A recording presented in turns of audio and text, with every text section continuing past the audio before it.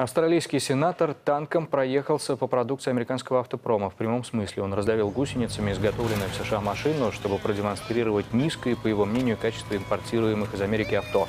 Видео расправы сенатор выложил на своей страничке в социальных сетях, вызвав там недоумение. Встречу с танком вряд ли переживет любая машина, вне зависимости от того, где она сделана.